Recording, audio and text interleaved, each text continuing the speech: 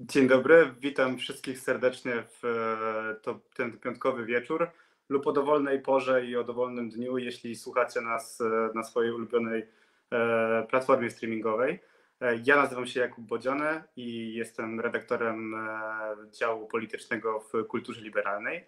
I dzisiaj będziemy rozmawiać o przyszłości brytyjskiej monarchii i o tym, jak zagrozić może jej para celebrytów jednak zanim przejdziemy do tego tematu, pamiętajcie, że możecie słuchać e, naszych innych podcastów. W środę jest to Widok z K2, który prowadzą Karolina Wigura i Katarzyna Kasia oraz e, czwartkowy podcast Jarosława Kuisza, w którym nasz naczelny razem z gośćmi rozmawia o książkach, polityce i kulturze. I jeszcze raz e, to co, to, co jest tutaj bardzo ważne, to jest chciałbym podziękować wszystkim naszym słuchaczom i widzom, i tym, którzy nas wspierają zarówno finansowo, jak i dobrym słowem w komentarzach i w mailach. To bardzo, bardzo dużo dla nas znaczy i pozwala nam rozwijać się dla Was. Tematem naszego spotkania, tak jak już mówiłem, jest Wielka Brytania, a dokładniej historia, która znalazła się na nagłówkach największych mediów na całym świecie. E, wywiad Meghan Markle i księcia Harego przeprowadzony przez e, Oprah Winfrey do tej pory obejrzało niemal 50 milionów osób na całym świecie. I treść tej rozmowy odbiła się szerokim echem, wzbudziła skrajne komentarze, szczególnie w Wielkiej Brytanii i Stanach Zjednoczonych. O tym, czy to tylko afera e, plotkarska, celebrycka, rodem z pudelka, czy rzeczywisty, e, czy rzeczywista e, konflikt na tle politycznym i, i który, który w jakiś sposób może wstrząsnąć Wielką Brytanią. Będę rozmawiać z Jakubem Krupą, dziennikarzem, byłym korespondentem Polskiej Agencji Prasowej w Wielkiej Brytanii, e, który od lat mieszka w Londynie, a e, również w przeszłości był naszym współpracownikiem, dlatego tym bardziej się cieszę, że możemy porozmawiać teraz na, na profilu kultury, kultury liberalnej. Dzień dobry, tak, bardzo mi miło również. Dzięki za zaproszenie. Cześć Jakub, bardzo, bardzo mi miło. E, chciałem w takim razie e, zacząć od tego, no bo jeden z nagłówków bodajże jednego z brytyjskich dzienników mówił o tym, że to jest e, najpoważniejszy kryzys monarchii od 80 lat. Czy ty się z tym zgadzasz?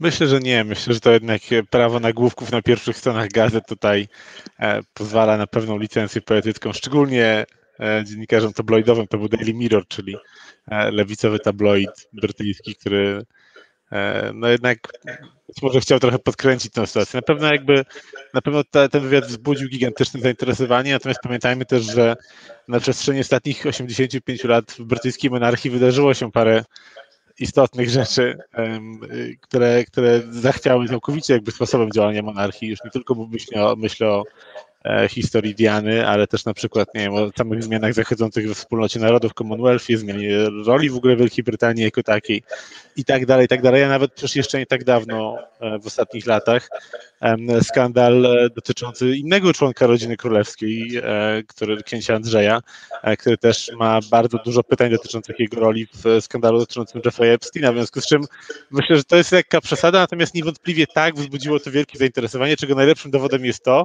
że okładka, o której mówisz, ukazała się w gazecie w dniu, w którym Brytyjczycy jeszcze tego wywiadu nie widzieli, bo gazety w Londynie i w Wielkiej Brytanii wydały specjalne E, specjalne wydanie o trzeciej nad ranem wysłane do druku, e, omawiające wywiad z amerykańską e, wersją wyemitowaną w CBS, a wiele, wiele, wiele, kilkanaście godzin zanim telewizja ITV w ogóle go pokazała. W związku z czym sam ten, sam ten fakt sprawia, że, że mówi się o czymś, kiedy jeszcze nikt tego nie widział, jest, jest myślę dość duża mówiąca na temat tego, jakie emocje to wywołało. To właśnie, no bo tutaj z drugiej strony jest ta inna narracja, która mówi o tym, że o czym my w ogóle rozmawiamy. Zresztą nawet się to pojawiło w komentarzach e, na naszym Facebooku, kiedy, kiedy, promo, kiedy promowaliśmy rozmowę. E, no bo czym tu się przejmować? To jest e, znowu afera takich państwowych celebrytów, tak? No bo tak. wiadomo było, że tak samo jak Royal Wedding, jak i Royal Baby wzbudzały ogromne emocje, mm, ale to w takim razie, skoro nie jest to ani najpoważniejszy kryzys w monarchii od 80 lat, ani raczej nie jest też ta druga skrajna wersja, to czym według Ciebie mm, właśnie jest ten wywiad i dlaczego poza tym aspektem plotkarskim i tabloidowym, dlaczego on ma znaczenie? Znaczy, ze względu na całą otoczkę i cały sposób produkcji tego programu, taki bardzo amerykański też te ujęcia e, z powietrza, albo jak chodzą i tam te, doglądają te kurczaki, które mają Harry, Harry i Meghan jakieś uratowane też z jakiejś farmy i opowiadają o tym, jak to, jak to jak tam im się żyje w tych Stanach. Jakby ten format na pewno był bardzo plotkarski. Jakby myślę, że nie ma wątpliwości, że gdyby to miała być tylko ciężka rozmowa na temat tego, jak wygląda rodzina królewska od środka, to tyle milionów ludzi by tego po prostu nie obejrzało. I jakby też Oprah Winfrey jakby ma swój format, swój sposób rozmowy, który sprawia, że że jak w naturalny sposób też patrzymy na, na to jako szersze zjawisko, czyli natychmiast pojawiają się ci, robią, mają kontrakty z Netflixem, ze Spotify'em, pewnie coś chcą wypromować, Opera też na pewno ma w tym świetny interes, kupę kasy zapłaciło w ogóle CBS za ten wywiad, nie parze, ale, ale, ale Oprah Winfrey i jej, e, jej firmie producenckiej, w związku z czym te, takich elementów pudelkowo prosto celebryckich na pewno było bardzo dużo. I, i na pewno część osób, mam wrażenie, popatrzyła na ten wywiad, jeżeli go obejrzała, bo mieliśmy też do czynienia z e, szeregiem ludzi, którzy jakby zapoznali się z nagłówkami, im to wystarczyło, tak, żeby również wiedzieć, w polskiej przestrzeni medialnej. żeby wiedzieć wszystko absolutnie o tym wywiadzie. Um, to jeśli ktoś go obejrzał, to, to, to jakby mógł um, przy odrobinie złej woli, której nie chcę zarzucać zbyt wielu osobom, ale, ale przy odrobinie złej woli spojrzeć na te takie, no tak, milionerzy teraz tutaj marudzą i się wypłakują w rękaw, że ktoś tam im w czymś nie pomógł. I pewnie taki odbiór w dużej mierze też był tego w Stanach Zjednoczonych. Jakby te, te, te, tamten element celebrycki był pewnie e, sporo ważniejszy też z racji tego, kim jest Megan, jaką miała pozycję społeczną wcześniej i jest jakby znaną aktorką. W Wielkiej Brytanii odbiór był jednak e, inny, chociaż też, i na pewno do tego dojdziemy za chwilę, bardzo ciekawe jest to, jak się różni w zależności od tego, kto oglądał ten wywiad. I, I fundamentalna różnica polega na tym, że tam jakby uwaga skupiła się nie na wszelkich elementach pod hasłem ciężko mi było znieść ciągłe spotkanie z prasą, chociaż też i element medialny był jednym z głównych elementów krytyki, um, ale kluczowym elementem było, były kwestie dotyczące tego, jak działa rodzina królewska od środka, jak, jak, jakim obciążeniem jest dla osoby, która jest z zewnątrz, która nie jest um, z rodziny królewskiej czy z podobnych kręgów, wejść w tą rodzinę, gdzie jest ten taka bardzo dużo mówiąca wypowiedź Meghan Markle, która mówi, że e, to nie jest tak jak w, ona chyba powiedziała w kreskówkach, ale też nawet w The Crown w Netflixie był ten element, gdzie Diana jak wchodziła do rodziny, to dostawała szkolenie i po, trochę pomagano jej się odnaleźć w pewnym momencie. E, no, Meghan mówi wprost, ja tego nie miałam, kiedy jechałam na pierwsze spotkanie z królową, to musieli mi wytłumaczyć, jaki jest protokół, bo nikt wcześniej tego nie zrobił. I znowu ktoś, kto patrzy na to na zasadzie wielki dramat bogatej aktorki, myśli tak, jakbyś nie miała większych problemów w życiu niż to, jak się zachować przed królową, czy jak głęboko musisz się, e, musisz się przed nią uchylić. E, natomiast to wszystko składało się na znacznie szerszą opowieść o, o, o przede wszystkim e, elemencie rasowym. Związku... Tak, bo tylko tutaj dodajmy właśnie to, że tam była bardzo istotna kwestia, która pada w tym wywiadzie, bo może nie wszyscy nasi widzowie go, go tak. oglądali, czyli to, że członek, ktoś z rodziny królewskiej, e, rozumiem, dopytywał o to, e, jakiego, jakiej rasy, jakiego koloru będzie e, dziecko Meghan i, i Harego. Tak, i co z tym, i co z tym zrobić? zdradziła, kto to był konkretny. Tak, i co z tym zrobić? Jakby, czy, czy jakby to wyglądało dla, dla, dla firmy, czyli dla, dla monarchii. I to, to jest coś, co było właśnie powtarzającym się elementem tego, co mówiła Meghan, czyli obsesja na punkcie wizerunku, jednoczesny brak wsparcia dla niej, jednocześnie poczucie jej, że ona, jej rodzina, jej dziecko, wtedy jeszcze nie wiedzieliśmy, że to będzie Archie, nie może liczyć na równe traktowanie w ramach tej rodziny.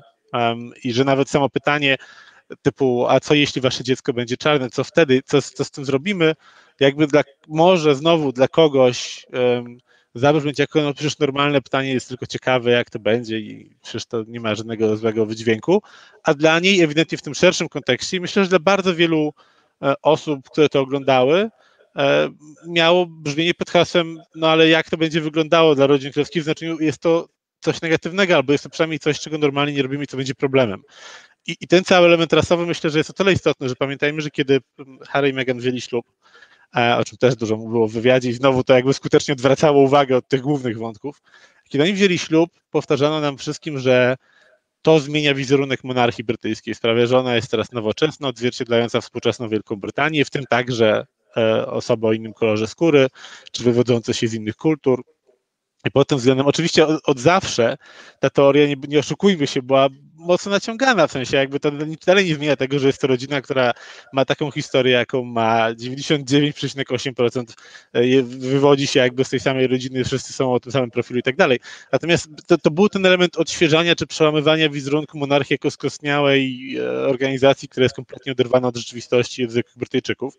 I w sytuacji, w której William i Kate e, skutecznie przez poprzednie lata pokazywali, że a my możemy być nowoczesnymi royalsami młodymi, to Meghan i Harry mieli wykonać ten następny krok i jakby powiedzieć, to oni już pokazali, że monarchia może być otwarta na młodych, świadoma współczesnych rzeczy, a my możemy pójść jeszcze dalej w tym temacie, plus jeszcze doprowadzić ten element rasowy. I te naruszenie, te wypowiedzi, które dotyczyły ras, na pewno wzbudziły największe kontrowersje. Później oczywiście były jeszcze szereg innych rzeczy o zdrowiu psychicznym, między innymi o tabu wokół tego.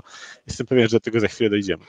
Tak, znaczy wydaje mi się, że też ten element rasowy ma bardzo duże znaczenie w związku z wydarzeniami, które obserwowaliśmy w lecie, zarówno w, w Stanach Zjednoczonych, jak Absolutnie. i w Wielkiej Brytanii, czyli e, morderstwem George'a Floyda i całym ruchu Black Lives Matter, który, który na tej podstawie wyrósł, na tej podstawie działał. E, I również w Wielkiej Brytanii przecież dochodziło do e, obalania pomników Absolutnie. Więc tutaj chyba to jeszcze bardziej podsyciło, prawda, te, te nastroje i te kwestie rasowe, które wyszły w wywiadzie. Absolutnie tak. No i Meghan i Harry o tym też mówili wprost w tym wywiadzie, że jakby oni między innymi z powodu tego mitu, gdzie jakby wydaje się, że rodzina królewska sama się w niego złapała, mieli poczucie, że wszystko, co robią, jest też elementem walki o reprezentację ludzi właśnie z innych środowisk, czy innym kolorze skóry, czy to innym e, jakby backgroundzie, że tak powiem, kulturowym.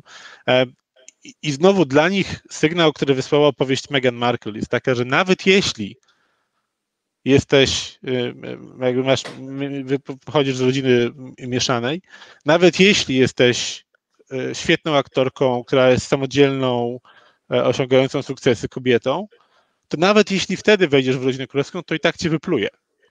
Jakby nie ma, nie ma tej możliwości, w której ty jesteś w stanie przełamać pewne szklane sufity. myślę, że ogromna część ludzi, która oglądała ten wywiad, patrzyła na to w ten sposób, że jakby to jest historia o ograniczeniach, które istnieją dla nas w tym społeczeństwie. I dlatego też jak patrzę na sondaże po tym, po tym wywiadzie, Oczywiście ogromna część Brytyjczyków, szczególnie starszych, szczególnie bardziej konserwatywnych wyborców, mówi oburzające, w życiu nie powinni coś takiego robić. Nie teraz, kiedy książę Filip jest w szpitalu, e, to jest absolutnie niewłaściwe, żeby o tym opowiadać. Po co opowiadają o tym, po co mówią o tym rasizmie i to jest też bardzo częsty zarzut, po co mówią o tym rasizmie, skoro nie pokazują palcem, kto to powiedział, tylko tak zawieszają to oskarżenie w powietrzu a młodsi mówią wprost, jakby to nas nie zaskakuje.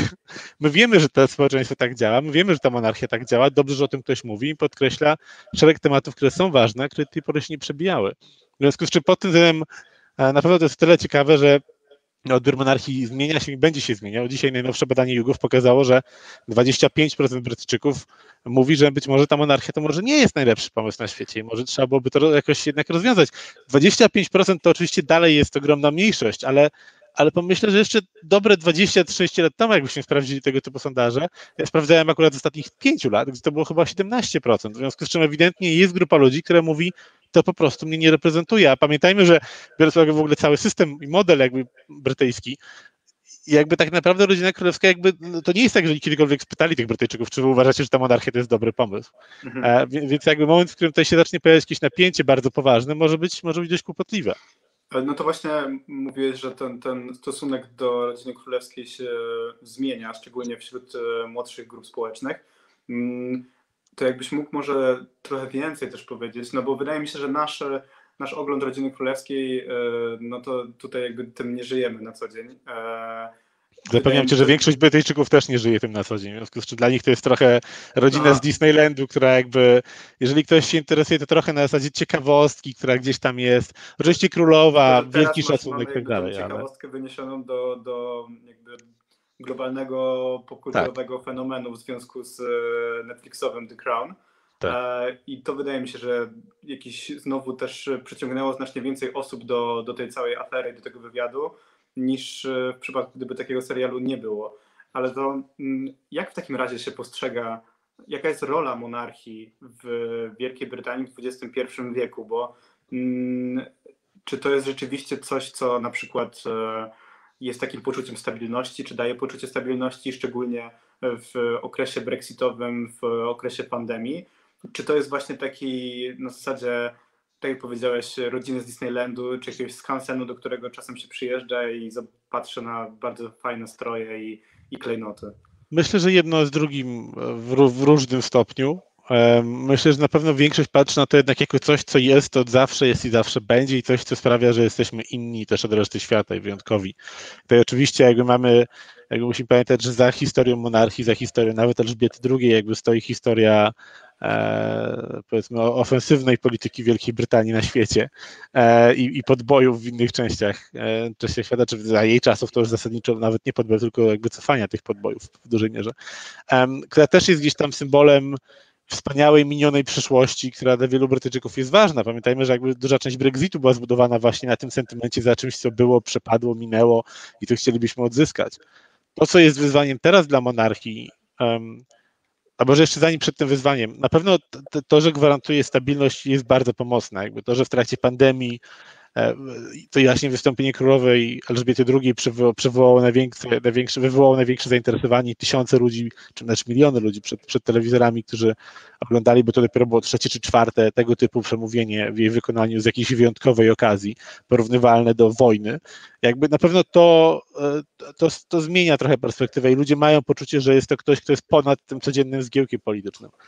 To, gdzie zaczyna się problem, to to, kiedy rodzina królewska zaczyna się stawać obciążeniem. I teraz mamy tak, że sytuację, w której następca tronu, Karol, nie jest powszechnie lubiany. Jest, jest ósmym czy dziewiątym najbardziej popularnym członkiem rodziny królewskiej, e, który jest ewidentnie nielubiany od czasów Diany, od czasu rozwodu, zdrad, e, ale też jakby później jego e, zejścia się z, z, z drugą partnerką, Kamilą. W związku z czym jakby pod tym względem on jest ciężkim następcą w tym wszystkim. I tutaj jest nawet znowu dzisiaj sondaż, w którym większość Brytyjczyków e, uważa, że należałoby pominąć to jedno pokolenie rodziny królewskiej. I mhm. teraz moment, w którym, czyli przejść od razu do Williama i Kate, do tych okay. młodszych, którzy, którzy odświeżali wizerunek, wizerunek rodziny królewskiej.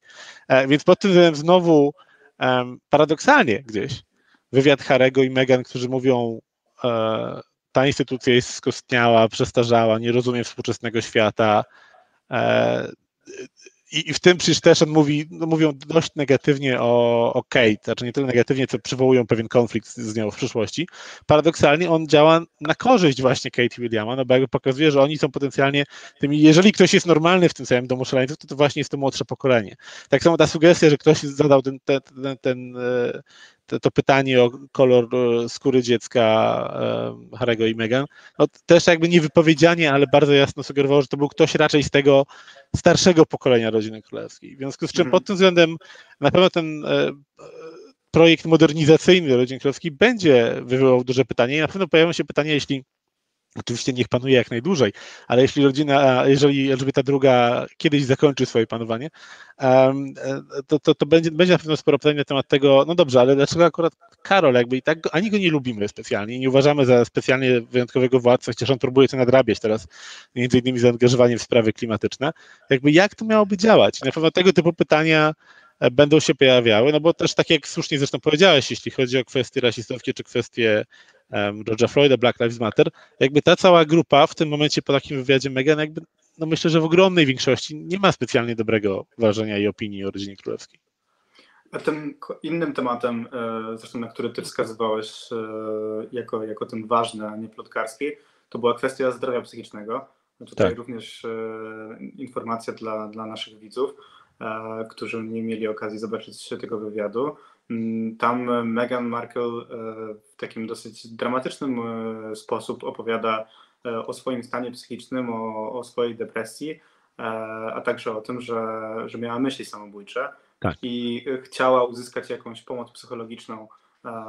Tylko tutaj jest ważne, że ona musiała to zrobić, to jeśli mówię to źle, to Kuba popraw mnie proszę, za, mm, jakby przez rodzinę królewską. E, tak. I takiej pomocy y, mm, według niej, tak jak mówi, nie uzyskała. Mm, czy to właśnie, to jest kolejny wątek, rozumiem. E, to jest drugi, to jest drugi bardzo poważny wątek, bo jakby dwie rzeczy. Po pierwsze, cała ta historia, i no o tym wspominał sam Harry, jakby cała ta historia przywołuje u wielu Brytyjczyków wspomnienia dotyczące Diany. Kogoś, kto jest z zewnątrz, w innym stopniu, ale jest z zewnątrz, kto nie otrzymuje wsparcia w rodzinie królewskiej, kto jest w efekcie w permanentnym konflikcie z rodziną królewską wewnętrznym, w przypadku Diany także, także z Karolem, a przede wszystkim w konflikcie z brytyjskimi mediami, które już dla niej były dość um, brutalne momentami. E, I, I, teraz ta historia zasadniczo się powtarza. Harry mówi w pewnym momencie w tym wywiadzie. Mam, miałem poczucie, że historia się powtarza, że niczego się nie nauczyliśmy z tej poprzedniej sytuacji dotyczącej mojej matki. Bałem się, że po prostu doprowadzi do tego samego um, końca. I znowu dla wielu osób, które to oglądają i szczególnie to miałem wrażenie dla osób, które oglądały to z lektorem w Polsce, czy z dubbingiem w Polsce, jakby gdzieś tam wtedy oczywiście te niuanse tych wypowiedzi giną. Mieli poczucie, a wielka drama, jest zamknięta księżniczka w pałacu, ma wszystko, czego potrzebuje, może wszędzie latać, wszędzie ją witają jak po prostu e, bohaterkę, a na tej rozpacza, że coś jej się nie podoba. Natomiast ja mam wrażenie, że, że jakby to pokazuje i to nie jest pierwszy przykład, no bo na przestrzeni ostatnich lat mieliśmy wiele takich przykładów e, ludzi, którzy byli na świeczniku, którzy na zewnątrz wydawało się, że wszystko jest ok, są szczęśliwi, uśmiechnięci, wiodą życie pełne sukcesów zawodowych, którzy jednak cierpieli na poważne problemy psychiczne, czy zmagali się z depresją um, i, potrzebowali tego wsparcia, często go nie dostawali. I pod tym względem um, słowa Megan spotkały się z bardzo agresywną reakcją mediów, które um, szerzej w ogóle jakby od dłuższego czasu e, podchodziły do niej bardzo delikatnie mówiąc sceptycznie, zresztą dużym to, częścią... To jakbyś mógł właśnie rozwinąć ten wątek, no bo wydaje mi się, że w istotnym e, stopniu do, tego, do tej kondycji psychicznej e, Meghan Markle, o której ona mówiła, przyczyniła się sposób, przyczynił się sposób, w jaki jej osoba czy jej związek w ogóle był relacjonowany w, w brytyjskich mediach.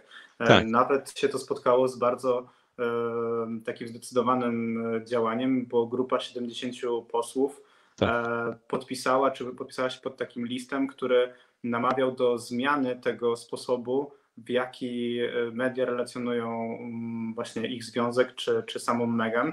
Jakbyś mógł więcej coś o tym powiedzieć, to znaczy w jaki sposób ona była relacjonowana w tych, w tych mediach, czy, czy ta relacja? Absolutnie. Znaczy, no w tym liście nawet pada takie, takie dość ostre sformułowanie o, o neokolonialnych czy postkolonialnych e, jakby podtekstach, które w tym, w tym jak media opisywały. Co jest jakby kolejnym wątkiem tego całego wywiadu. To znowu wraca tak w ogóle tematu i przeszłości Wielkiej Brytanii, nierozliczonej do dzisiaj i, i kwestii rasistowskich. Um, Meghan miała jakby od zawsze ten problem, że jakby wchodziła w ten związek z bagażem E, amerykańskiej partnerki brytyjskiego księcia, co wiemy z historii, że nigdy nie kończyło się dobrze. I rozwódki. I rozwódki. To, to, I rozwódki. to też było omawiane. Co wiemy, że nie kończyło się dobrze i jakby było natychmiast wytykane na zasadzie, że ty się tutaj nie odnajdziesz. E, I w pewnym momencie to tworzyło takie samo napędzające się koło, że ty się nie odnajdziesz, więc teraz jak się nie odnajdziesz, to znajdziemy okazję, że ci wypomnieć, że się nie odnalazłaś.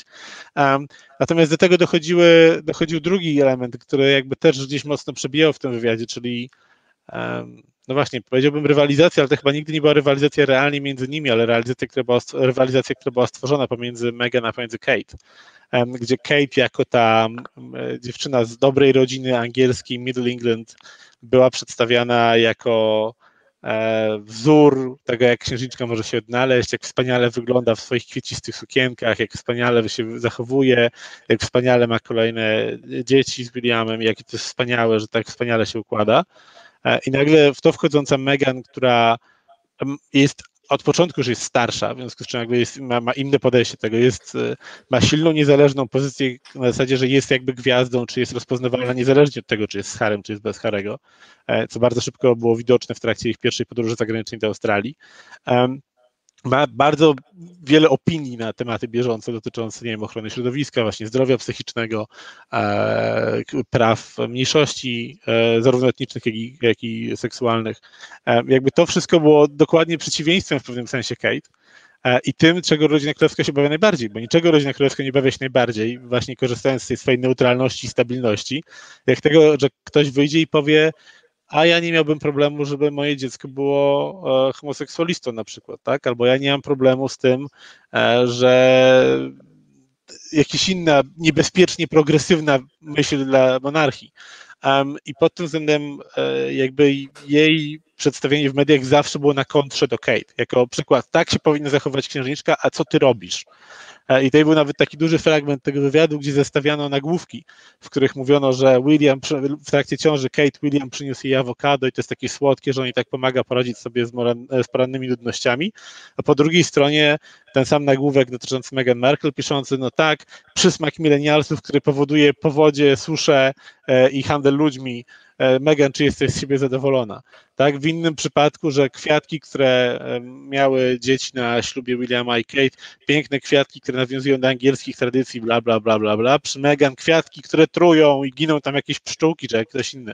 E, w efekcie tych kwiatków to jest okropne, jak Megan mogła się tego dopuścić. Jakby to to ciągłe polowanie na znalezienie jakiegokolwiek podwójnego standardu w niej albo po prostu dokopanie jej w jakiś sposób na pewno było ciążywie. Ona mówi o tym wprost, że apelowała wielokrotnie do władz pałacu, pomóżcie mi sobie z tym poradzić, odpowiedzmy na to, e, powiedzmy, że coś jest nieprawdą, jeśli pewne pojawiały się historie, które są nieprawdziwe i tego wsparcia nie dostawała. I, i tutaj też jakby ta historia trochę się skończyła tym, no bo po, po jej skargach Stowarzyszenie Wydawców i Naczelnych Brytyjskich Gazet wydało oświadczenie, że nie, nie, my absolutnie nie jesteśmy rasistowcy, nie jesteśmy e, w żaden sposób e, przeciwko, ani mhm. co, to, co, co, co złego to nie my. I natychmiast szereg mediów, i nie tylko lewicowych mediów, wydało oświadczenie, mówiąc zasadniczo, to my się odcinamy od tego, co wy powiedzieliście. Jakby, jakby to, to, że uważamy, że media ogólnie brytyjskie są niezłe, nie zmienia faktu, że jesteśmy świadomi problemów dotyczących reprezentacji um, dziennikarzy z mniejszości, czy tego, co jak mówimy w ogóle o ludziach z mniejszości. W tym tygodniu dobry przykład HuffPost, jedna z brytyjskich redakcji, pokazała, że Metropolitan Police, londyńska policja, bodajże dwa razy częściej wypuszcza informację prasową ze zdjęciem sprawcy, jeśli sprawca był czarnoskóry niż jeśli był biały. Um, więc tego ale, typu rzeczy znowu gdzieś w mediach że ta sprawa ona może mieć faktycznie jakieś długotrwałe konsekwencje, jeśli chodzi o brytyjską debatę publiczną, czy na przykład e, sposób, w jaki media relacjonują kwestie związane z e, rasą, czy z mm, właśnie kolonializmem, czy z polityką, czy właśnie z rodziną królewską. Czy myślisz, że to będą jakieś takie długotrwałe zmiany, czy to jest po prostu reakcja, no bo teraz wszyscy o tym mówią, a później nie, myśl, myślę, że będzie, myślę, że będą miały. Ta dyskusja o rasie trwa już jakiś czas. Sam przywołałeś e, przykłady Black Lives Matter, czy, czy właśnie zrzucenia pomnika Colsona w Bristolu. Jakby ta dyskusja już trwa, w związku z czym po tym myślę, że tutaj się nic nie zmieni. E, jeśli cokolwiek to będzie nabierała na znaczeniu, nabierała, nabierała jeśli chodzi o jej pęd i głośność, że tak powiem. E, natomiast jest gdzieś, samej Megan pewnie też nie pomoże ta dyskusja, no bo wiemy, że jakby ona się wycofuje już z tego brytyjskiej części, zresztą nie da się z tego wycofać, nie zawsze będzie już przez te media goniona, ale, ale, ale na pewno wielu Brytyjczyków z mniejszości etnicznych na przykład zobaczyło w niej swój głos w tej całej dyskusji o tym, jak są na przykład przedstawiani, albo jak, jak trwa ta dyskusja.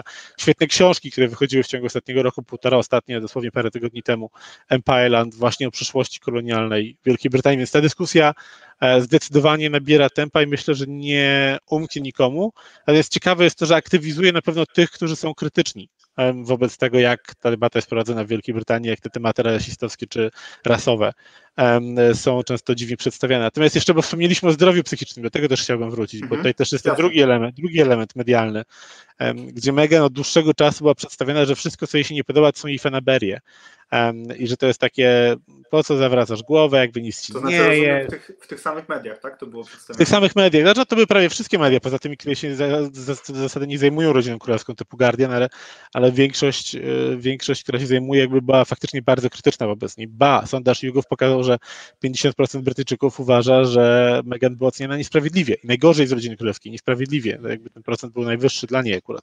E, znowu jakby to wydaje się potwierdzać tą teorię, że była po prostu traktowana inaczej.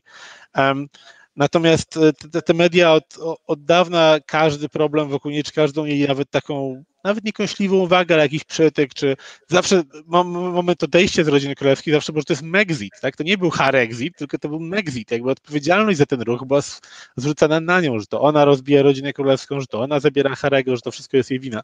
I teraz, kiedy ona mówiła w tym wywiadzie o zdrowiu psychicznym, mówiła o tym, jak, jak ciężko sobie z tym radziła, jak miała myśli samobójcze, jak bała się zostać sama w domu e, i, i prosiła Harego, żeby, żeby nie, po prostu nie pozwolił na to, żeby została sama w domu, bo e, może sobie coś zrobić, to, to jakby jedna z reakcji na to była a, Snowflake, Millennials, Snowflake, ktoś, kto żali się znowu na siebie absolutnie bez powodu. Przecież ma wszystko do dyspozycji, ma pałac, ma wszystko, mógł jej ktoś pomóc. E, I pod tym względem na pewno jakby jest to, jest to znowu gdzieś fascynująca, e, fascynująca dyskusja, bo pokazuje znowu też przede wszystkim pokoleniowe różnice. Ogromna większość Brytyjczyków mówiła nie, absolutnie niedopuszczalne, kiedy Piers Morgan, jeden z najpopularniejszych brytyjskich dziennikarzy, teraz telewizyjnych, kiedyś tabloidowych, powiedział na antenie e, ITV Good Morning Britain, że ja tam nie wierzę w żadne słowo z tego, co ona powiedziała, to wszystko jest ściema, nie zrozumiał, nie przyjąłbym nawet, gdy mówiła o prognozie pogody, to to wywołało burzę. Jakby to nie są słowa, które już już tak łatwo przechodzą w tej brytyjskiej debacie w tym momencie i potem 40 tysięcy skarg. Dodajmy, że Piers Morgan to nie, był, to nie był tam gościem, tylko jednym z prowadzących. Główny prowadzący. Do czego doprowadziło, prawda, do, do konfliktu, że tak powiem, na antenie. E, i tak. w wyniku czego Piers Morgan, Piers Morgan nie tylko, że opuścił studio, to jeszcze w ogóle zrezygnował opuścił pracę. z prowadzenia programu, tak? Tak jest, tak. On formalnie zrezygnował sam, chociaż mówi się, że oczywiście to był szerszy konflikt między nimi i nie mogli się porozumieć, natomiast, natomiast tak, bo te jego słowa wywołały po pierwsze ponad 40 tysięcy skarg na zasadzie, to nie jest język, jakim powinniśmy w XXI wieku mówić o zdrowiu psychicznym. Jakby po pierwsze um, są organizacje, które się tym zajmują, które mogą udzielać pomocy, powinniśmy ich kierować, a nie mówić, że ktoś, nie uwierzymy ci, jeśli nam nie pokażesz dowodu na to, że z kimś tym rozmawiałaś, bo jedna z rzeczy, które powiedział Piers Morgan, powiedział, z kim rozmawiałaś, co ci powiedział, jak nie ma dowodu, to tego nie było. Um, jakby to, że to nie jest ten język. Po drugie, że jakby znowu w sytuacji, w której szereg inicjatyw, w tym nawet rodzina królewska, walczy z tabu wokół zdrowia psychicznego. E, książę William jest szefem Brytyjskiej Federacji Piłkarskiej, z kibicami piłkarskimi mówi o tym, że nie, nie bali się mówić o swoich emocjach i uczuciach, oczywiście nie piłkarskich, ale, ale e, życiowych i nie bali się przyznawać na przykład depresji. Teraz nagle e, a, a, najpierw ona mówi, że w rodzinie nie traktowano jej poważnie, a B, B jeszcze brytyjskie media teraz jej mówią, że nie traktują jej poważnie, nie wierzą jej w to, co mówi. W związku z czym to na pewno wywołało gigantyczną dyskusję wokół tego. No i tutaj jest jeszcze dodatkowy ja mam wrażenie, że bardzo dużo elementów tej dyskusji, szczególnie dla odbiorcy w Polsce, może i nie chcę, że to źle zabrzmiało, ale mogą być niejasne czy niezrozumiałe, bo dotykają takich spraw, które gdzieś tam są um, pod powierzchnią trochę. W przypadku tego, co powiedział Piers Morgan, ta sama stacja rok temu straciła jedną z swoich głównych prowadzących, która popełniła samobójstwo, odebrała sobie życie w wyniku tego, że um, miała A depresję, B dostawała olbrzymi hejt w internecie. Um, jej śmierć oczywiście wywołała gigantyczną debatę na temat zdrowia psychicznego, wsparcia dla osób, które ma, mogą się z tym zmagać, gdzie mogą szukać pomocy, że ta pomoc zawsze jest dostępna, że nigdy nie są sami i tak dalej. I teraz komentarz Morgana, um, który od lat bardzo krytycznie wypowiadał się Meghan Markle. Kiedyś ją znał i nawet się, jak twierdził, przyjaźnili, potem ona zerwała z nim znajomość zupełnie po poznaniu Harego. Um, teraz on mówiący tego typu rzeczy, dosłownie kilka dni po rocznicy śmierci tej prezenterki, sprawiło, że telewizja też miała poczucie, że jakby tutaj nie jest sytuacja, to nie jest sytuacja, w której możemy udawać, że nic się nie stało, bo jakby jesteśmy zestawieni z tym, że ktoś zasadniczo powtarza to samo, co rok temu kosztowało nas utratę życia jednej z naszych najlepszych prezenterek. W związku z czym tutaj znowu jest też ten element, że i, i tego typu historie, o tym też wspominaliśmy wcześniej, że osoby, które wydaje się, że wszystko jest w porządku, wydaje się, że są uśmiechnięte, szczęśliwe, osiągają sukcesy i tak dalej, ale gdzieś wewnątrz siebie zmagają się z problemami. E, no jakby tutaj ta wypowiedź Piersa Morgana, czy to powątpiewanie szersze mediów w to, co mówiła Megan, jakby przyciąga z powrotem dokładnie te same problemy. Dlatego też ta reakcja mhm. myślę, że była dość stanowcza, że pokazać, że no jednak, jednak, jednak czegoś się nauczyliśmy. Jeśli nie rodzina królewska, jak Megan twierdzi, się nie nauczyła, to chociaż media próbują się nauczyć coś z tego, co się działo. Myślę, że właśnie Twoje słowa są chyba najlepszym dowodem na to, że e, ta sprawa znacznie wykracza poza ten e, pudelkowy poziom. I bardzo Ci w takim razie dziękuję, że no powiedziałeś, że wiele tego kontekstu polskim widzom i polskim słuchaczom umyka i znajduje się pod powierzchnią, także myślę, że spotkanie z Tobą to jest idealny sposób, żeby, żeby z tej powierzchni te, te bardzo ciekawe wątki wydobywać. E, także bardzo, bardzo Ci dziękuję. Bardzo dziękuję. Jeśli pozwolisz, tylko bardzo szybko Jasne. dodam jeszcze, że to, czego żałuję, co się nie wydarzyło. Bo jakby skupiliśmy się jak zawsze, szczególnie w Polsce, na, dys na dyskusjach o, o siedzą na krześle za tysiąc funtów, za 500, whatever. Czy mają kurczaki jakieś tam, które też tam są drogie. Podpisali kontrakt z Netflixem za 100 milionów, ze Spotify za 25, więc są desperacko, chcą się bronić, teraz jeszcze się skarżą, że nie mają pieniędzy. Że zamiast tego nie wyciągnęliśmy tych głównych tematów, które są naprawdę ważne, jak zdrowie psychiczne, które w Polsce przecież tak samo mamy problem. I zamiast śmiać się z Megan, że a, to się skarżysz na życie w złotej, w złotej klatce, zamiast tego nie odbyliśmy poważnej rozmowy na przykład na ten temat. Bo jakby dobrym przykładem, co robią brytyjskie media zawsze, to nawet te złośliwe czy wredne, które Megan nie chciały wierzyć, przed każdym, pod każdym tekstem na temat zdrowia psychicznego pisze się, nie jesteś sam, jeśli potrzebujesz pomocy, są ludzie, którzy ci pomogą z numery telefonów, bla, bla, bla, bla, bla. Jakby ta akcja uświadamiająca gdzieś trwa, a u nas prześlizgnęliśmy się trochę po powierzchni, mówiąc, że a, co narzeka, a, jakaś panienka ze Stanów Zjednoczonych, o co wszystkim wam chodzi, temat bez znaczenia. Mam wrażenie, że e, jest wiele tematów zdrowia psychicznego, ale też rasizmu, który naturalnie dla Polaków będzie trudniejszy do zrozumienia z racji po prostu kompozycji e, społeczeństwa, tam jest naprawdę parę bardzo dużych tematów, no więc jakbym mógł nalegać, prosić, obejrzyjcie jeszcze raz w oryginale, ja wiem, że to jest trudne i to trwa długo i jakby to niekoniecznie jest y, aż tak porywające, ale tam są tematy ważne, którymi warto się zajmować, którymi będziemy musieli się zajmować w następnych latach, w związku z czym taka moja delikatna prośba tylko na koniec. I może Super. krytyka trochę polskich mediów. Więc. Y, Ja jak najbardziej się do tej, do tej prośby przyłączam, tak żeby właśnie zdawać sobie sprawę z tego, co jest naprawdę ważne. E, Państwu jeszcze raz dziękujemy i przypominam, że każdy z tych odcinków naszego podcastu możecie oglądać zarówno tutaj na Facebooku, jak i później na YouTubie, a potem jeszcze na Waszej ulubionej platformie streamingowej. Zapraszamy też na naszą stronę www.kulturaliberalna.pl, gdzie codziennie dodajemy nowe teksty, nowe materiały na temat polityki i kultury. Zachęcamy również do przekazania 1% podatku właśnie na kulturę liberalną, bo jesteśmy organizacją pożytku publicznego. E, I jeszcze raz wszystkim dziękujemy za, za udział i za wsparcie. Szczególnie chciałbym podziękować e, naszym najhojniejszym darczyńcom, e, którymi są Artur Sawicki, Marian Lemke, Aleksandra Kudrymska, Jakub Baczuk, Daniel Stawiński, Patryk Górniak, Aleksander Słowik, Jacek Ptaszek, Piotr Kisel, Karolina Alama, Tomasz Ostrowski, Grzegorz Gryczka i Kornel Wojciechowski. Jeszcze raz serdecznie dziękujemy i do zobaczenia.